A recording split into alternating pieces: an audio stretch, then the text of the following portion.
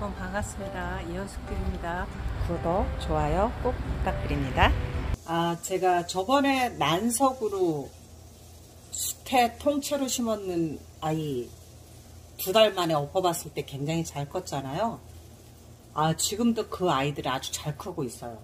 그리고 제가 이제 그거는 실험을 했고, 수태 통째로 심었을 때, 아, 난석은 잘 컸는데, 바크로 제가 또 심어봤어요. 이렇게, 여기다가. 지금 키를 보면, 어, 굳이 깔망을 안 해도 될 것 같아요. 그러니까 난석, 난석으로 밑에를 하고,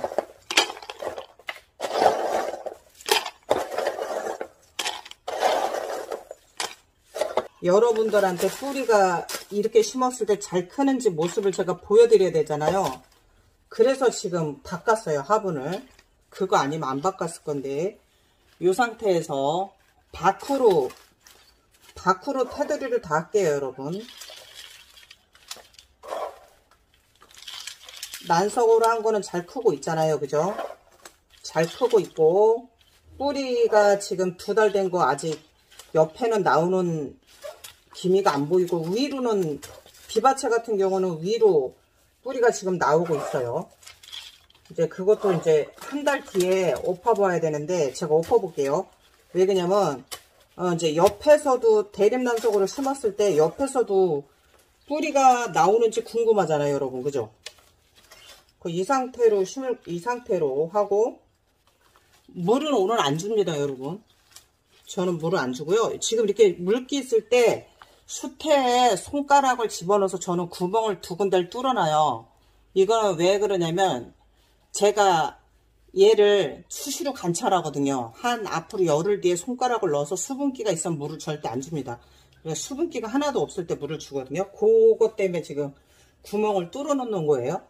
그렇게 뚫어 놓으면 순환도 잘 돼서 좋고 얘한테도 좋아요.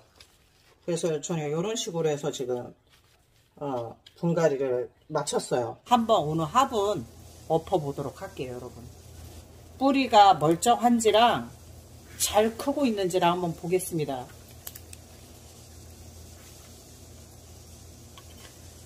저도 궁금한데요. 지금 두 가지 다 제가 실험 중이죠. 요 아이는 이제 수태 통째로 심은 아이인데 밑에만 난석으로 심고 테두리를 바크로 했어요. 어 근데 상태는 어 보시면 알겠지만 나쁘지는 않은 상태인데요. 요 아이도 아 근데 뿌리가 아 조금 다르다. 아 여러분 잠깐 보여드릴게요.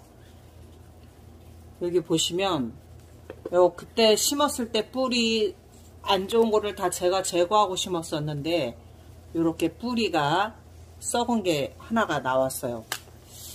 어, 그리고 나머지들은 괜찮은 것 같고, 어, 요 아이가 지금 이제 수태 통째로 넣고, 바크를 제가 이제 테두리를 했던 거예요. 근데 요것도 지금 뿌리가 하나가 또, 어, 상태가 안 좋은 게 나왔어요. 그럼 뿌리가 두 개가 상태가 안 좋은 게 나왔다는 얘기인데, 그리고 여기 보시면, 요 지금 꽃은 이렇게 싱싱한데 꽃은 싱싱하죠? 근데 여기 보면 꽃대가 지금 갈색으로 변하는 걸 보실 수 있죠?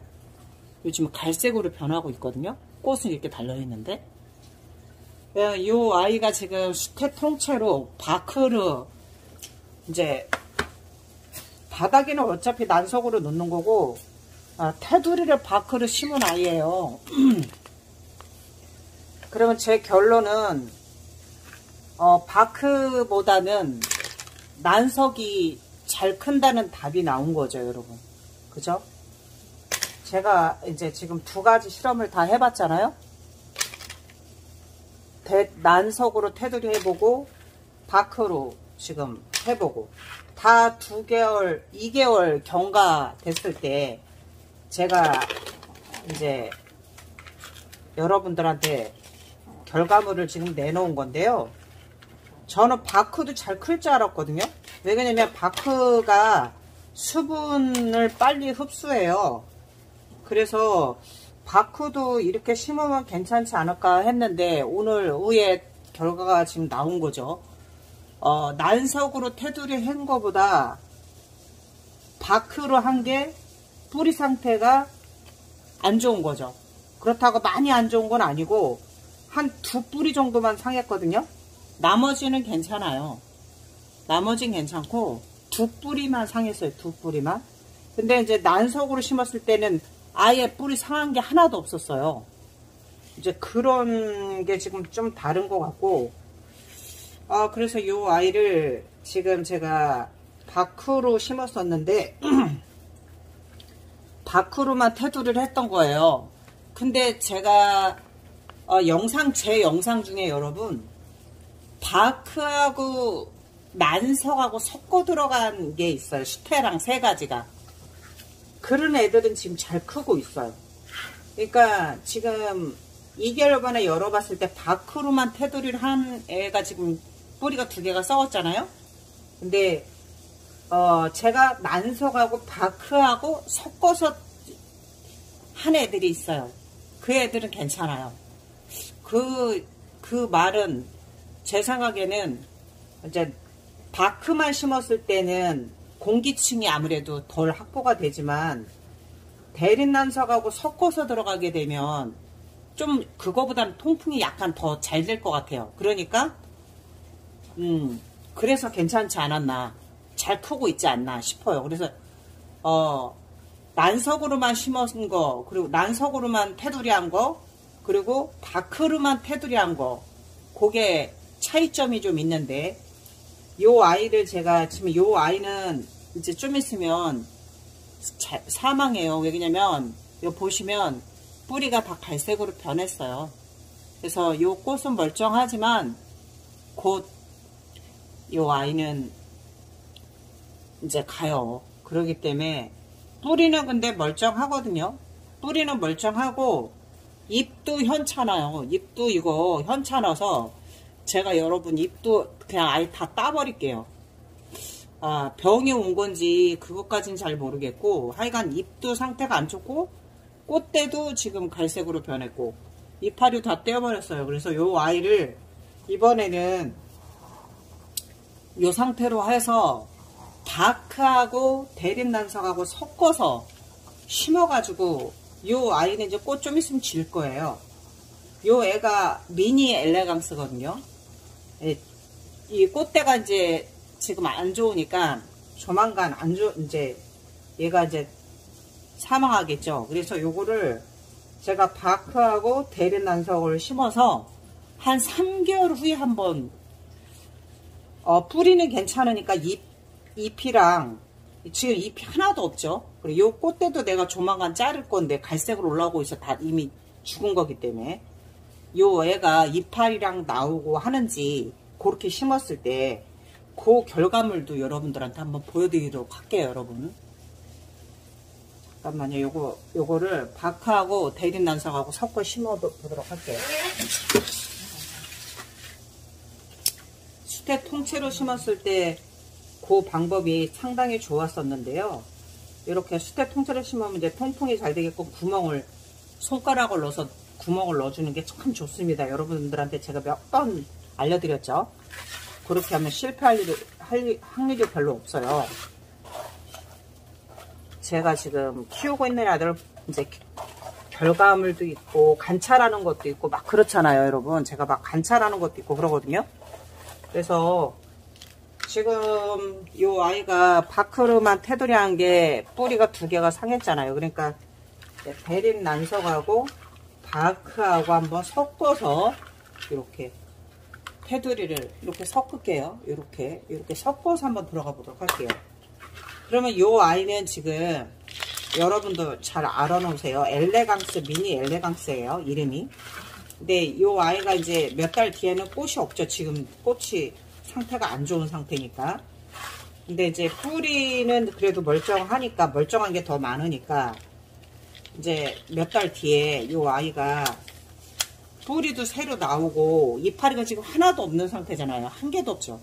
그래서 이렇게 심었을 때 이파리도 새로 나오고 있는지 아니면 그대로 하늘나라를 갈 건지 제가 이제 그때 결과물을 3개월 후에 여러분들한테 알려드리도록 할게요. 지금 이렇게 심어서 관찰을 해보도록 할게요. 저도 이제 이런 건 안 해봤기 때문에 지금 관찰을 해봐야 되는 상황이거든요.